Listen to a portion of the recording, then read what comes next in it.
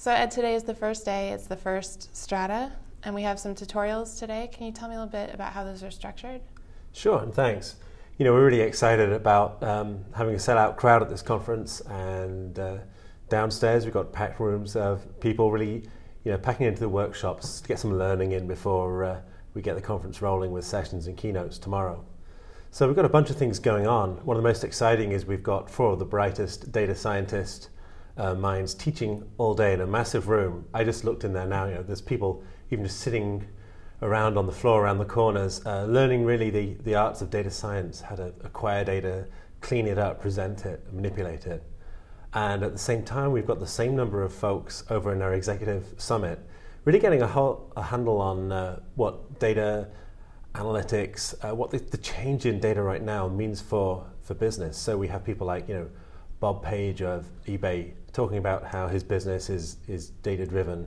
And we've got uh, BI and, um, and, data warehousing experts like Barry Devlin saying how that world is just completely changing um, uh, and how businesses collect data and use it really needs to be reevaluated. And why do you think that change is happening now, or why start Strata now? I think we're at uh, an inflection point. You know, over time uh, in the last few years, we've seen two big trends. You know, one is the, the collection of a lot more data. We're in a connected society. Uh, we all carry, you know, um, cameras, sensors around in our in our pockets. Everything is instrumented. We're all online.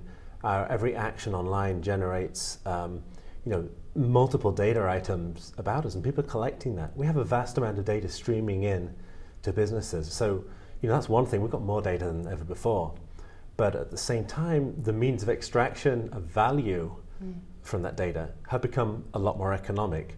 So, you know, that information um, about what you do when you when you shop online and what your preferences are uh, on Amazon, so they can reckon, you know recommend you things to sell and so on. All that data's always been there, but what we can now do is you know interpret it and analyze it in a in a timely fashion.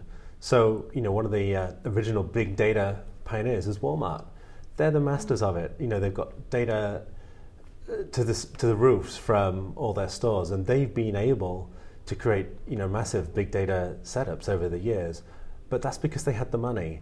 What's going on now is that anybody, you or I, can go and you know plug into a cloud service, and we can have that same kind of power. So the potential for uncovering value is just so much greater than it was.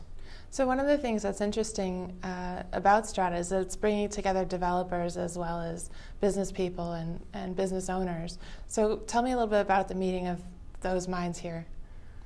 Well, that's an interesting thing, yeah, because you know a, a lot of the conferences about big data so far have been uh, maybe very tools oriented. You know, here's Hadoop, here's how to get it running. What we wanted to do with Strata was move up to the application layer you know, tool choice is important, but it's just a hygiene factor. Mm. But the strategies for, um, you know, acquiring data, manipulating it, they actually run from developer right up to the top level of businesses. And we wanted to cover off all those angles. Um, also, let's face it, this is a gold rush right now. Why a lot of the people here, they want to hire. You know, why are other companies here? Well, they may be looking for other companies to buy.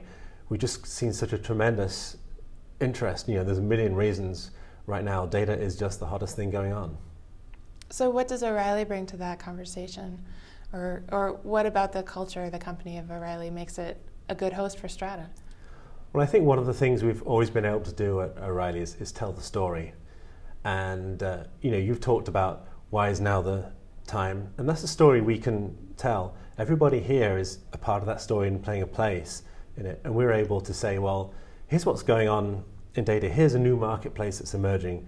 Here's a trend, and here's where it's going. I think that's the most valuable thing we can bring bring that um, context to what everybody's doing. So they say, "Oh yeah, that's what I'm in the middle of." We did the same thing with Web 2.0, and uh, what we're then able to do is help people move on, help, help people make the best of the new data opportunity. Yeah. Well, we're certainly all excited about it here. I can't wait to see what comes out. What do you think are a few of the trends that will be important to watch? Oh, there's a lot going on this week. Um, you know, one of the really exciting things is the rise of data marketplaces. Mm. In sense, once you've got these valuable resources, then you, you can trade in them and you can buy other people's data and suddenly make amazing products or really revolutionize some of your own business processes. Um, another really important thing is the rise of real time. you know, you're not going to look at this in a backward-looking way. This isn't just we're substituting mainframes with the cloud. We're actually making new things possible. Once you've got uh, sensors, network connectivity, and near real-time response, you know, the, the, the possibility of changing our lives in, you know, even now think about in medicine, what in consumer goods, uh, transportation, is really you know, uh, exciting. So mm. we're seeing the technological underpinnings move to support those real-time applications. Very cool. Well, it's exciting to watch. Thanks for taking a few minutes to talk. Thanks.